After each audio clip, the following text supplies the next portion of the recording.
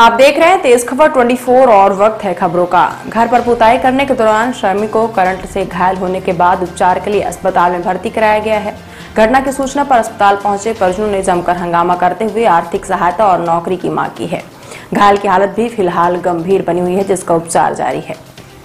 घटना के संबंध में घायल तेजभान साकेत निवासी रहट के पुत्र तेजवली ने जानकारी देते हुए बताया कि वह चुराटा थाना क्षेत्र के रहट गाँव का निवासी है और गाँव के ही जवाहरलाल पटेल के मकान में कल उसके पिता तेजभान पुताई करने गए थे।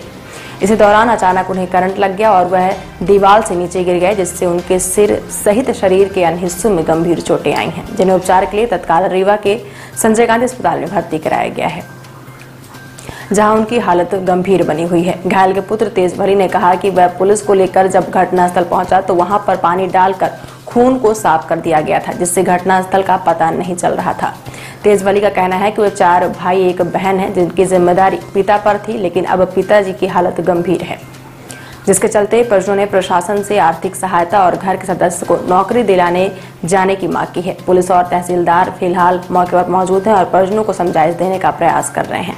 घायल का उपचार संजय गांधी अस्पताल में जारी है, जहाँ उसकी हालत गंभीर बनी हुई है। तेज वली कुमार साकेत ये मेरे पिताजी गाँव में काम लगाए थे, पुताई का। तो वहाँ पे जिसके घर पे काम लगाए थे तो वहाँ पे करंट लगा हुआ था। पापा जी नहीं जाने, वहाँ पे हाथ लग गया, गिर गए वहाँ पे।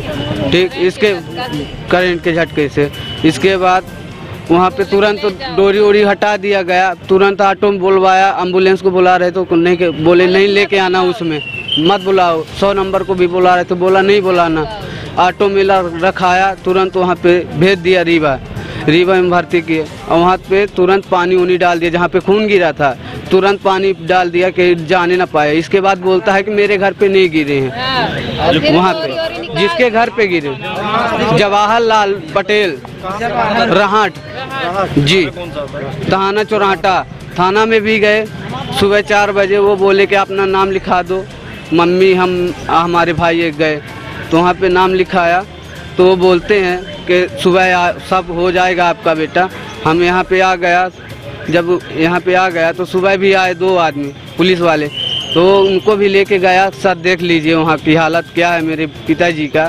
तो उसने देखा मेरे पिताजी का हालत। एफ़ आई आर कुछ नहीं लिखे। इसके बाद कह कह दिए चलते हम रहाट। हम उनके पीछे पीछे चल दिए वो अधबीचे से लौट के चले आए। हम ये चाहते हैं हमारे जो जो हमारे बड़े थे वो तो है नहीं तो हमारा सहारा कौन बनेगा? हम लोग क्या करेंगे? चार भाई एक बहन है पढ़ते हैं तीन लोग तो हम कहाँ से पाएँगे इतना सब कुछ? क्या नाम है मृतक का जो? श्रीमान तेज भानसा के आपका नाम क्या है? मेरे तेज वाली क्या, क्या मांग क्या है आपकी? हमारी मांग ये है कि हमारा जो कुछ है हमारा फैसला होना चाहिए। हमारे जो भाई लोग हैं हमको मेरी मांग ये है कि पैसा कौड़ी मिलना चाहिए जो हमारे हम लोग को चल सके।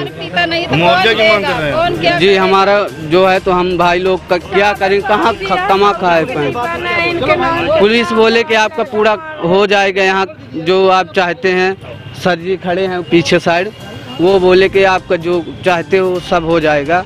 दिक्कत मत लीजिए। क्या घटना हुई क्या इनकी शिकायत है आज ये दशा हो रही है। रेहट में एक मजदूर कहीं पे काम कर रहा था। बताते हैं उसके गिरने के कारण चोट लगी है और हॉस्पिटल में एडमिट है अभी।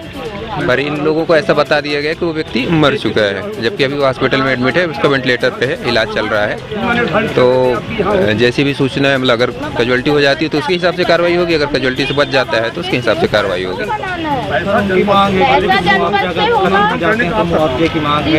देखिए, हमारा काम तो विधिक कार्रवाई करना है। मुआवजे का जो भी प्रावधान होगा, आपराधिक प्रकरण तो पंजीबद्ध हो जाएगा, ऐसे नहीं है। जो विधिक जो विधिक कार्रवाई वो होगी।